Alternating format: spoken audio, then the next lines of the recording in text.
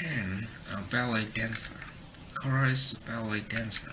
Every week, she takes lessons with Miss Martha, learning the positions, steps, and movements. Her grandma's 100th birthday is coming.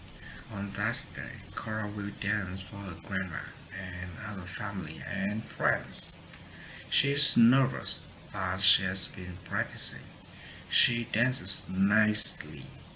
Her friends and family stand and cheers for her after she finished.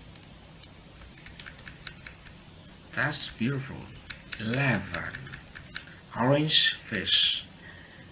Melissa's bought a fish. You're my favorite orange fish, she said. A goldfish, said her brother Jimmy.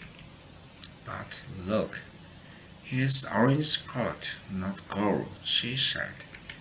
That doesn't matter, said Jimmy. A long time ago, silver carp turned yellowish orange, and people called them goldfish. Wow, he's an orange fish to me, said Lisa. And is my orange fish. Thank you for listening. Bye.